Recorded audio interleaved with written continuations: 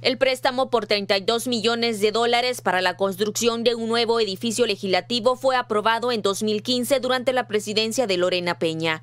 Desde entonces, ninguna legislatura se atrevía a iniciar con las obras que reemplazarían el actual edificio que en cada terremoto sufre más daños. El presidente de la Asamblea, Ernesto Castro, informó que renunciaron al préstamo con el Banco Centroamericano de Integración Económica. Retirar ese préstamo porque creíamos de que había demasiado amaño en ese préstamo las intenciones en realidad no eran eh, buenas intenciones, creo de que incluso se inventaron la necesidad seguramente para construir con alguna empresa amiga de ellos, por lo cual nosotros decidimos empezar de cero. Aseguró que legislaturas anteriores brindaron datos erróneos sobre la inversión que conllevaría la construcción de un nuevo edificio. Que era una mentira lo que ellos hablaban de ese préstamo, era muchísimo más porque había una contrapartida de esta asamblea y al final salían más de 80 millones de dólares la construcción de eso. Ya no vamos a seguir pagando casi 100 mil dólares cada año por seguir manteniendo ese préstamo, pero estamos buscando cómo reforzar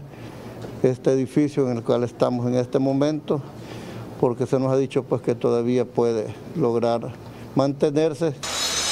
Actualmente en la Asamblea Legislativa se hacen adecuaciones de oficinas y construcciones en la zona de parqueo. Vamos a, hacer una construcción definitivamente, no es nuestra prioridad. Si las cosas se dan, lo vamos a terminar haciendo en esta gestión, en estos tres años que nosotros tenemos. Yo creo que acá lo que se debe garantizar en primer lugar es la seguridad de los trabajadores y las trabajadoras y ahorita no vemos que se dé esa prioridad. Se está priorizando para oficinas. Desde el terremoto de 1986, el edificio sufrió daños que lo catalogan con bandera roja. Para Teleprensa Canal 33, Doris Chicas.